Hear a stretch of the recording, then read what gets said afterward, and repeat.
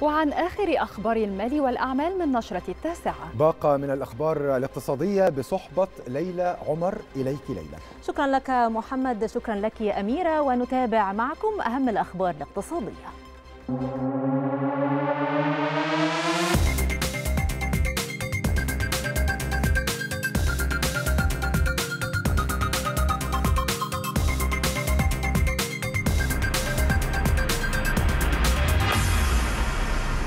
أعلن الجهاز المركزي للتعبئة العامة والإحصاء ارتفاع قيمة التبادل التجاري بين مصر ودول الاتحاد الإفريقي خلال عام 2021 بنسبة 38.2% من 100% مقارنة بعام 2020 وأوضح الجهاز أن إجمالي الصادرات المصرية إلى دول الاتحاد الأفريقي بلغت 5487 مليون دولار خلال عام 2021 مقابل 3985 مليون دولار عام 2020 بنسبة ارتفاع تقدر ب 37.7% من المئة في المئة. أعلن المجلس التصديري للغزل والمنسوجات والمفروشات المنزلية ارتفاع صادرات القطاع خلال الفترة من يناير إلى سبتمبر من العام الحالي بنسبة 10% لتبلغ مليارا و229 مليون دولار.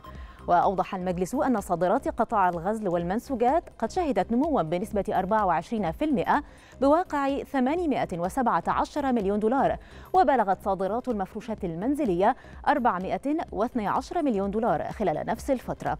وتعد القطاعات النسيجية ثاني أكبر قطاع صناعي بمصر وتمثل 3.4 من الناتج الإجمالي المحلي و34% من الناتج الصناعي.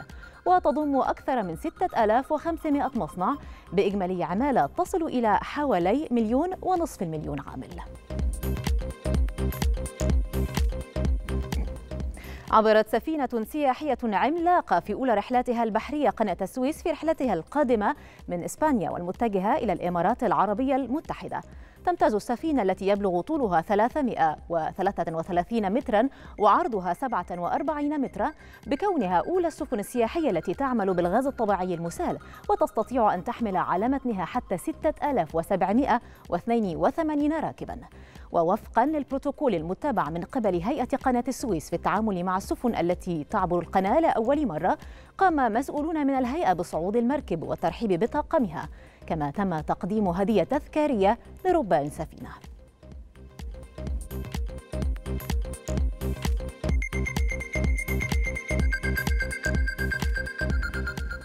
وإلى سوق المال حيث أنهت البورصة المصرية التعاملات على ارتفاع جماعي للمؤشرات للجلسة الخامسة على التوالي.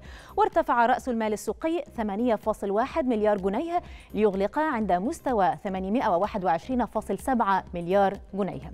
أما على صعيد المؤشرات فقد ارتفع مؤشر EGX 30 بنسبة 1.41 من المئة في المئة ليغلق عند مستوى 12515 نقطة. كما صعد مؤشر الشركات الصغيرة والمتوسطة EGX 70 بنسبة 1.10 من المئة في المئة ليغلق عند مستوى 2388 نقطة. وصعد مؤشر EGX 100 بنسبة 93 من المئة في المئة ليغلق عند مستوى 3482 نقطة. ونتحول إلى أسواق العملات حيث تباينت أسعار العملات أمام الجنيه المصري ليسجل الدولار الأمريكي 24 جنيها و45 قرشا للشراء و24 جنيها و54 قرشا للبيع. أما اليورو فقد سجل 25 جنيها و31 قرشا للشراء و25 جنيها و40 قرشا للبيع. في حين وصل الجنيه الاسترليني إلى 29 جنيها وقرشين للشراء و 29 جنيها و12 قرشا للبيع أما بالنسبة للعملات العربية فقد سجل الدرهم الإماراتي 6 جنيهات و66 قرشا للشراء و6 جنيهات و68 قرشا للبيع. وأخيرا بالنسبة للريال السعودي فقد سجل 6 جنيهات و51 قرشا للشراء و6 جنيهات و52 قرشا للبيع. تجاوزت مبيعات التجزئة الأمريكية جميع التوقعات في شهر أكتوبر الماضي بدعم من شراء السيارات ومجموعة من السلع الأخرى مما يشير إلى أن إنفاق المستهلكين قد يساعد في دعم الأوضاع الاقتصادية في الربع الأخير من العام الجاري. وأعلنت وزارة التجارة الأمريكية أن مبيعات التجزئة قد صعدت بنسبة 1.3 من الشهر الماضي.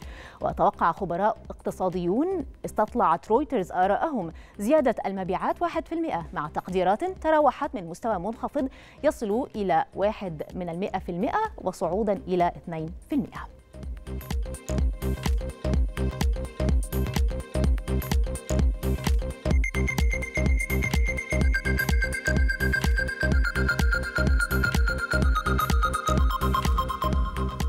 نهاية أخبارنا الاقتصادية عودة مرة أخرى لمحمد وأميرة إليكما من جديد. شكرا لك ليلى.